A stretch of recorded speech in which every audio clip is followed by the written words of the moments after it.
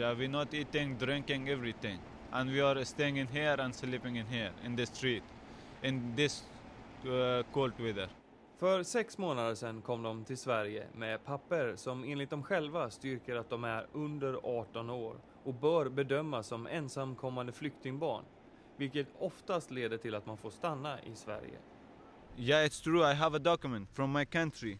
So you're saying you're 16, but the immigration i- immigration office saying that He you're say no. 19. Yeah, he just get a one one photo from my hand, from the fingers, one photo, in one minute. Then this after two months they send the paper. No, you are 19 years old.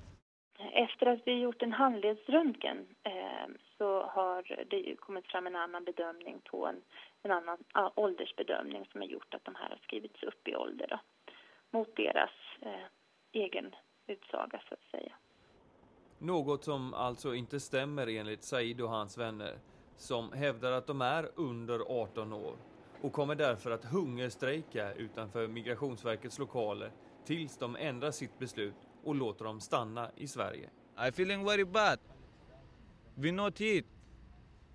We not sleep. We cry a lot, but they not listen to me.